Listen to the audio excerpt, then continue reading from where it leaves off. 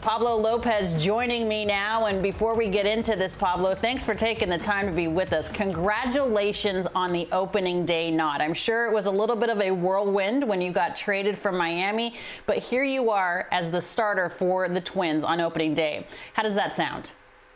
No, no, it sounds sounds great. You know, obviously makes me super happy. Like you say, like when I got traded, a lot of emotions, a lot of things going on. And certainly being the opening day starter was not one of those things in my mind. I just wanted to make sure to let the Minnesota Twins that uh, my main priority was winning and to show them how I take my preparation very seriously, how I try to just help as much as I can, absorb as much information as I can, and just really appreciate all the feedback, take advantage of the resources.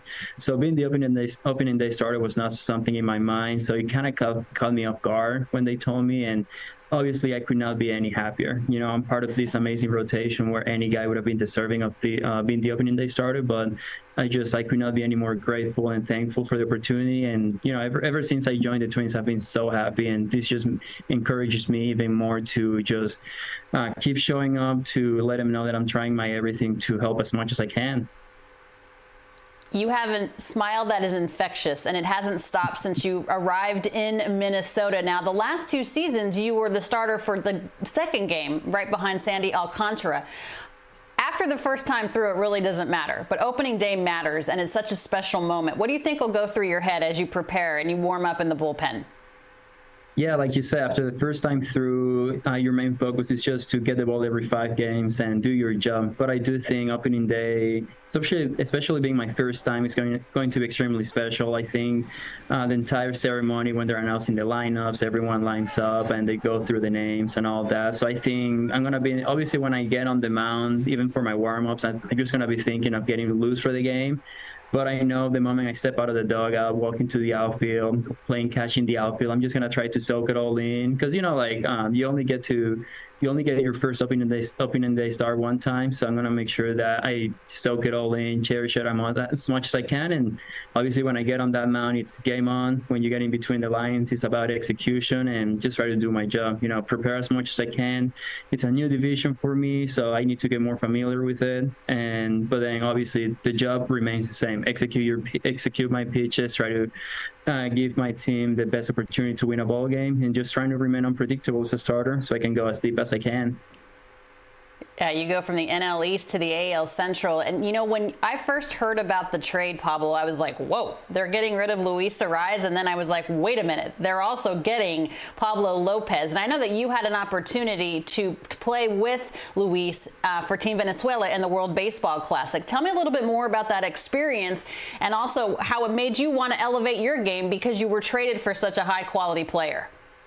Yeah, absolutely. You know, I I was very aware what the Minnesota Twins uh, traded to get me and the other two guys. You trade. Uh, they traded the uh, reigning AL batting champion. And, you know, I played with Luis in the minor league, so I could tell that he was, you know, like something special.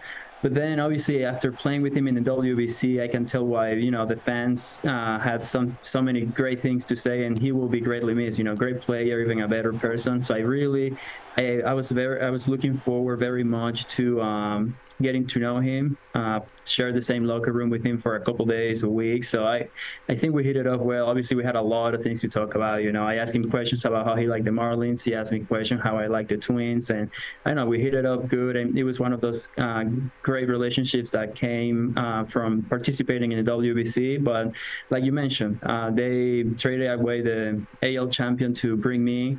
So that just just that uh, gave me the encouragement to know that uh, the Minnesota Twins see something in me. They see something that can help them win as many games as they can, and it's my job and my duty to show up and then just uh, live up to that um, that expectation, those expectations. You know, I raise the bar to myself every day to make sure that I try to be the best best version of myself. You know, I'm not competing against anybody. My only competition is myself. Uh, five days ago, and then just go from there. Take it one pitch at a time. Try to remember that I can only control what I can control, and then just enjoy my enjoy my time. You know, uh, this is a great it's a great group of men that are hungry to win a championship, to win many, many ball games. And, you know, like it's fun to show up to this clubhouse knowing that we have such a great opportunity to win, um, to win the whole thing. Yeah, let's talk about the Twins a little bit because you look at the Twins in the division and you're thinking, okay, they have a, have a decent shot. Of course, the Guardians win the division last year. Chicago was very hurt uh, up and down that lineup, and, and the Twins didn't achieve exactly what they wanted to. What gives you the most excitement about the 2023 season with this club? Yeah, I would say the number one thing is how hungry we are. I think obviously the Twins, the last couple years, they made a lot of noise in the NL in the AL Central, and then the way that last season went, I can really tell that the guys felt uh, we could have done a much better job, and I think we really uh, are thinking about it that way for this year. You know, we're hungry. We're about to let everyone know what the um, Minnesota Twins um, representing the AL Central. We're going to try to dominate, and I think that's just like that's just it's very infectious. You know, I show up with a team that's hungry to win, and um, it just I don't know. It makes me want to get better. It makes me want to be the best version of myself. And I think you look at our lineup, it's such a deep lineup. You know, there's not many holes. There's not many opportunities for other pitchers to take a pitch off. And you know, the, the defense behind me is going to be it's going to be a show. It's going to be a movie. You know, it's going to make me it's going to make my job easier, much simpler, just to challenge guys, uh, force them to swing the bat, force them to swing the ball in play. You know, the seven guys behind me, they're going to make all the plays for me. The guy, the guys behind the play, you know, they're they're going to call the right So I think that kind of line is going to be fun to watch. And the defense behind me, I know it's going to be also fun to watch. And they're going to make all the great plays, all the routine plays. And that makes my job a lot easier, just challenge guys. Yeah, you have a lot of faith in your teammates, and they obviously have a lot of faith and confidence in you. Named the opening day starter for the Minnesota Twins against the Kansas City Royals a few years after making your debut on June 30th of 2018, you faced Jacob DeGrom and you beat him 5 to 2. Congratulations on the nod, Pablo. We appreciate your time. Good luck. Thank you very much. Thanks for having me.